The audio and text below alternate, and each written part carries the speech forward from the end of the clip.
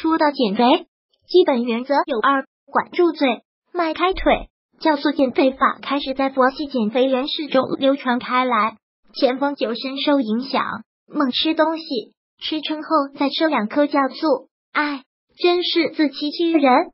空有一颗减肥的心，身体却是肥胖的命。少年的他也是风华正茂，校草一枚，现在真是胖若两人。传说中酵素可以帮助减肥以及养颜排毒。酵素饮料和药剂更是大行其道，成为网络上减肥界的宠儿，甚至还风靡过一些自制酵素的菜谱。常见做法是将水果洗净，然后切块放入混合糖和水的容器内，密封两周后就会得到神奇的酵素。这有点像腌制泡菜，只是把盐和辣椒换成了糖，蔬菜替换成了水果。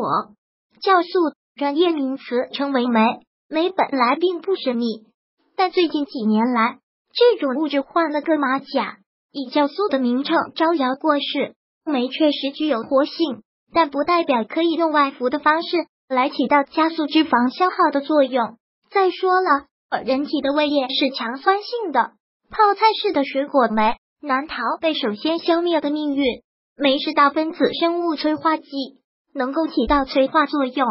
几乎每一种生物的生命过程都离不开酶。人体中目前已经发现的酶有七百多种，多数酶各自只催化一种物质的一种反应。最为著名的酶跟解酒能力有关，酒量说到底就是具体的解酒酶的活性水平。